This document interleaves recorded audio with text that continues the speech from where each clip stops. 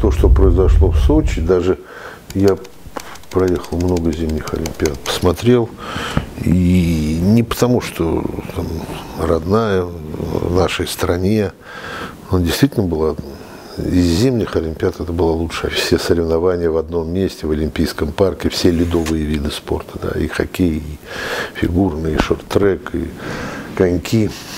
Э, и буквально там через ну, электричка шла 45 минут. Через 45 минут вы оказываетесь в горах, которые все в снегу и все лыжные виды спорта. Да, очень интересная концепция была Олимпиады. И, конечно, организация. Все до сегодняшнего дня, все, ну, я не знаю, с кем у меня есть контакты, все говорят, что это была по организации одна из лучших зимних, одни из лучших зимних игр. То, что в стране появился шикарный курорт – круглогодичный.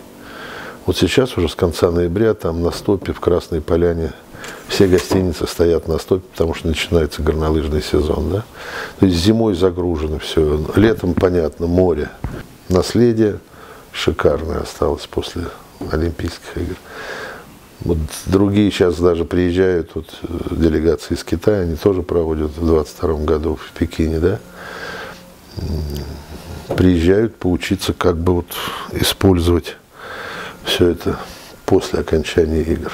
Поэтому не стыдно за нашу Олимпиаду, которая прошла в 2014 году.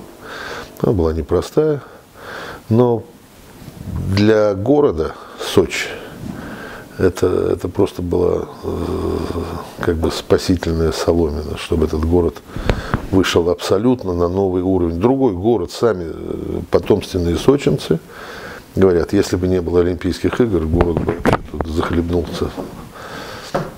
А сейчас это абсолютно цивилизованный, хорошо развитый э, с инфраструктурой город.